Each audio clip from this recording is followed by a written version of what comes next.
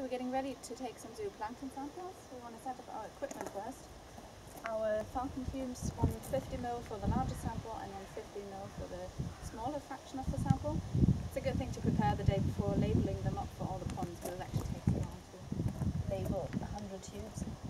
Uh, we need a funnel to wash things into those tubes, some borehole water to wash things into the tubes.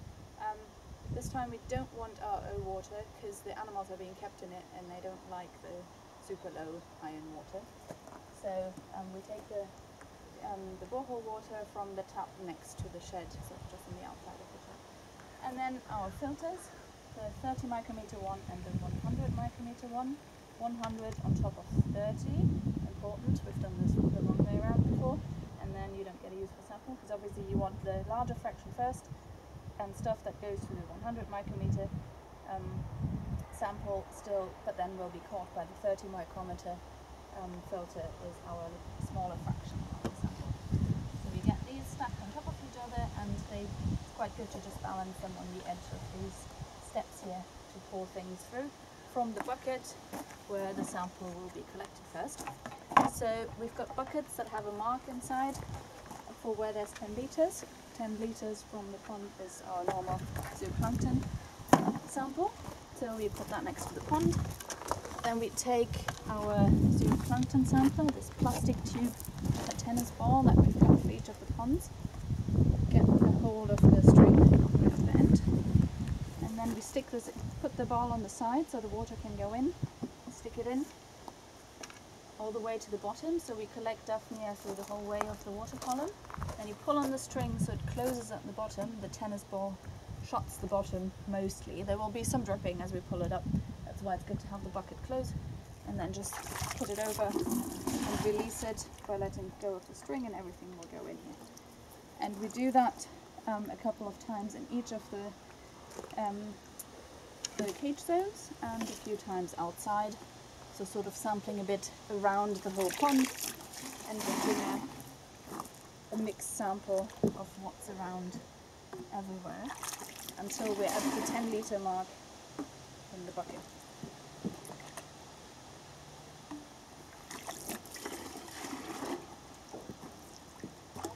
So try and take some samples from the middle there. Have to try and get to the bottom outside of the heating elements. So Gotta be careful when pushing this down to not be too quick and harsh and damage anything.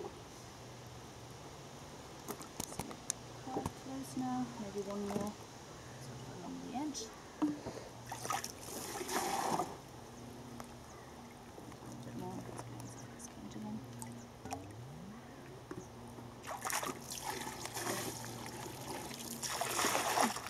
Okay, we're at 10 litres now. Done with the sampler. Now this is a sample with a lot of duckweed in, which we don't want to clog up all our plankton. So we will fish that off the top. Actually what we want.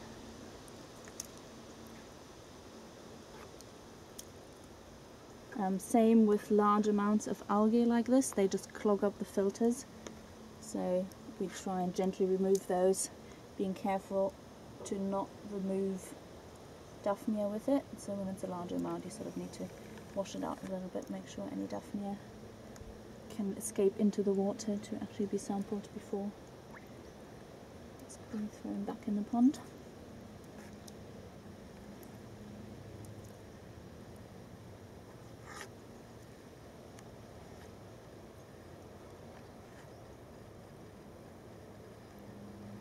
I think all that stuff at the bottom are propagules from the duckweed.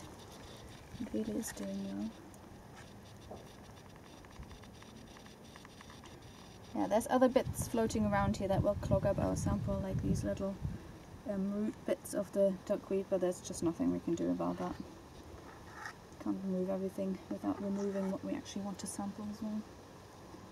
So algae that we can take still.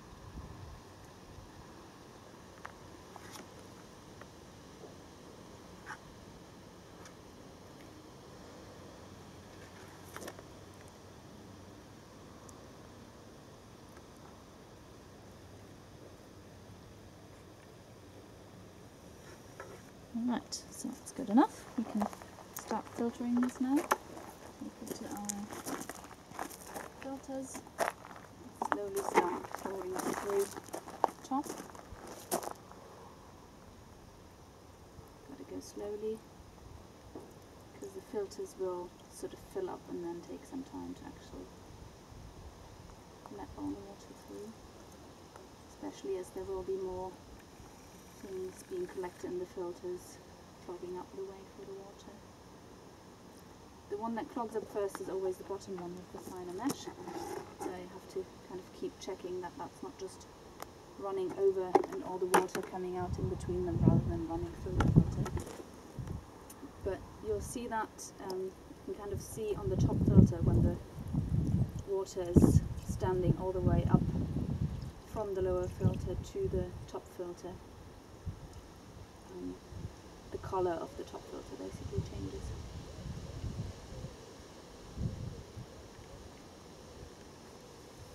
Pour this through slowly and then occasionally if the bottom filter gets completely stuck we can remove the top filter making sure there's no water standing there that's still running through and sort of swirl the water inside the bottom one to unclog it a little bit and allow the water to run through it still.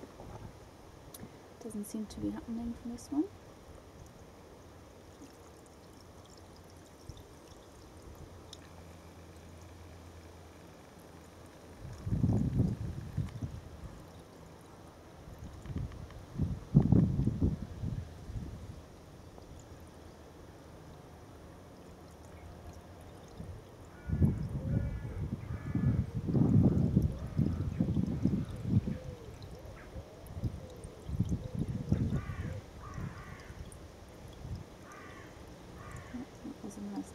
Just going through.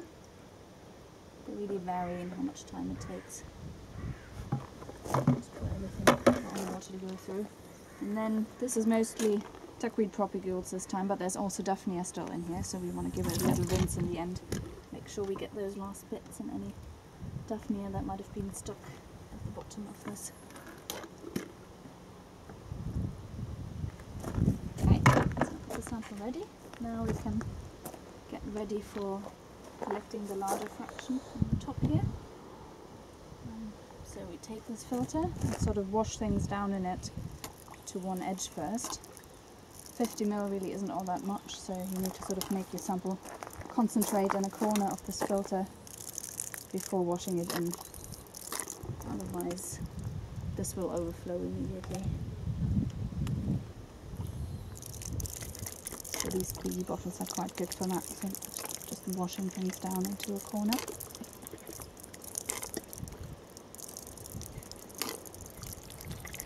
It's harder the more algae and duckweed there are, sort of clogging this up.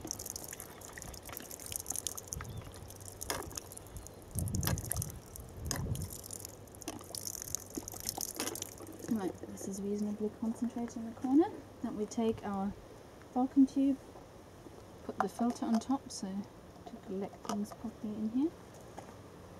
This is easier with um, Falcon tube holder, I just don't have them on here right now, so I'm just sticking them between my knees. But I can recommend having a holder to make this easier.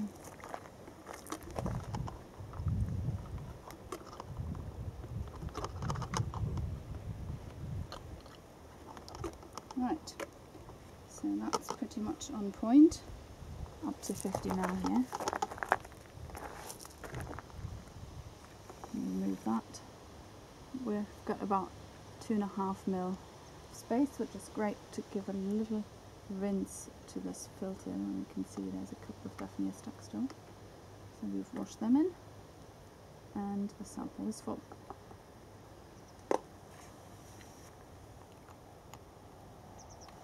Um, we usually actually aim to only fill this to 42 and a half or 45 mil because we want to add glycerol in the lab before freezing it down. Um, but sometimes, as was the case here, um, you just have to fill it all the way to wash out everything into this, in which case, once we get to the lab, we'll let this settle a bit and then remove some liquid while being careful not to remove animals um, before we add the glycerol because at the moment there wouldn't be space for that. And that's it. Um, can do the same thing for the smaller fraction of the sample, then wash it out into the smaller tube. And that would be the zooplankton samples for one pond.